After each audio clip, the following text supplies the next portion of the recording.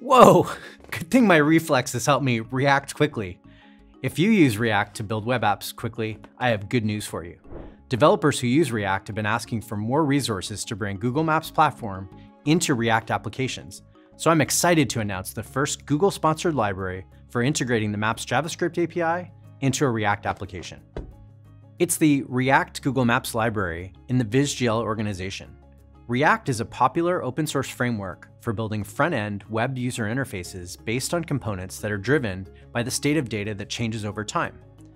VisGL React Google Maps comes with a collection of React components to create maps, markers, and info windows, as well as a set of hooks to use some of the Maps JavaScript API services and libraries. You can install it just like any other package from NPM. In your code, import the API provider and any other components you'll want, such as the map component. Access services and libraries in the Maps JavaScript API by importing the Use Maps Library hook. We decided to open source the React Google Maps library for its longevity and health. VisGL is a suite of frameworks for large-scale geospatial data visualization governed by the OpenJS Foundation.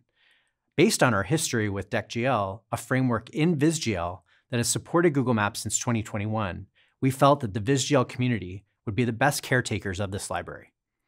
We have a lot more planned for this library, so give it a try and file a GitHub issue to let us know what more you'd like to see added to it.